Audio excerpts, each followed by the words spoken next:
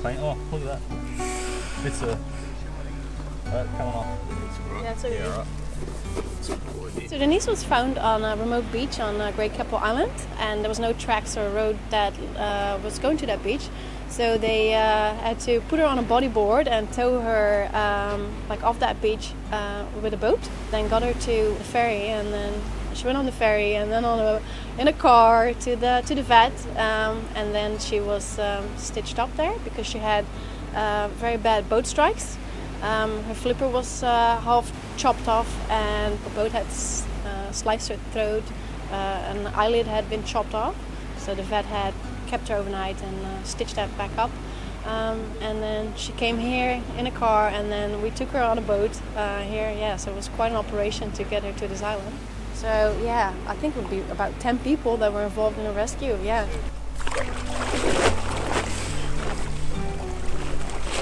Well, the biggest thing about Denise is that, I mean, as you can tell, she is massive. And whereas other turtles, they come in, they're juveniles, they have more of a quick stay.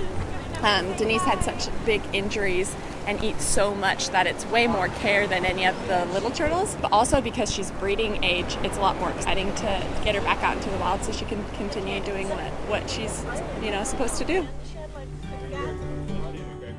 When she came in, um, she had such an like an animated personality, and she was so much fun when she was in the ICU tank. She was in the ICU tank for I think about four months, um, so all those wounds could could, could heal, and um, so that took a while. And she just like she would love her shell scratches, and she would try to grab your um your hands with her with her rear flippers.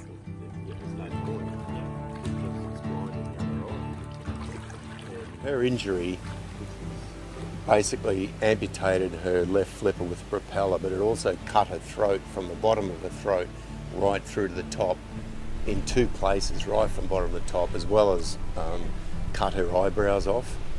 And they they were all stitched back on and stitched back together. So when I pulled those stitches out, you know, I lay down beside her and she did not, yeah, while I was pulling stitches out of her eyes, she did not move and didn't flinch. She just watched me and yeah, she knew what, what we were doing. Generally, all the animals get fed 5% of their body weight per day. So in the end, she was 140 kilos, which means that you know she should be on around seven kilos, and she was a squid eater primarily. An animal her size is over thousand dollars a month, so you know maybe 15, 15 to 18 thousand dollars worth of food in the wild. She'll be back eating seaweed and sea grasses. They're amazing animals, and it's just, I guess, sad. It's happy to see her like extremely healthy like she is, but sad to have to see her have to, you know, go through a life with those, you know, flipperless, you know, thanks to a, another boat on her head right there. Yeah. She'll live well. It's just that, um, you know, she is obviously well and truly in that breeding stage of her life. She's over a metre long. Um, it's just going to be difficult for her to, you know, find a way up the beach and, and lay. So that's that's sort of what I was thinking. It's just, you know, the problems that she's got in front of her, but you know, they're an amazingly resilient animal, and they just never give up. They don't.